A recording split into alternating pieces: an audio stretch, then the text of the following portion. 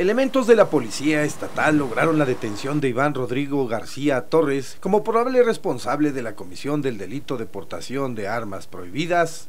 En un recorrido de vigilancia por la colonia Jurica, personal operativo de la corporación observó una persona de sexo masculino que se encontraba en el área de bancos con una actitud sospechosa, por lo que se procedió a realizar una revisión de rutina. Al entrevistarse con el sospechoso reaccionó de manera violenta sacando de entre sus pertenencias una navaja de aproximadamente 20 centímetros de largo, pues no quería ser molestado.